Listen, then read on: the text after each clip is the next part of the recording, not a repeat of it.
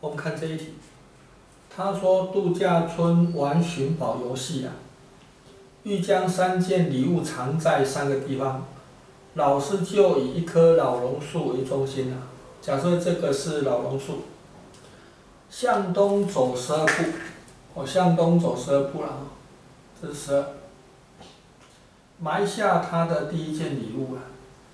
由老榕树呢向东走四步，向北走一步，哦，这个就是四 A 了啊，埋下第二件礼物了。最后由两老榕树哈向东走一步，再向南走八步，哦，这个是呃 A 啊跟负八，埋下第三件礼物了。为了方便记忆，老师将这三件礼物埋藏的地方设计成一条直线。那么他要你求 A 的值啊，当然 A 它是大于零的。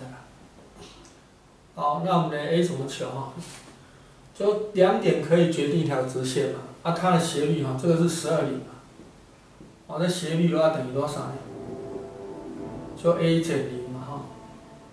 四减十二的话是负八，r 会等于多少呢？会等于这个减个这个是八嘛，十二号减 a，这样子，那这样我就可以求出 a 来，交叉相乘，十二 a 减 a 平方等于负六十四，那这样子的话就 a 平方减十二 a，再加嗯减六十四。减六十四啊，等于零。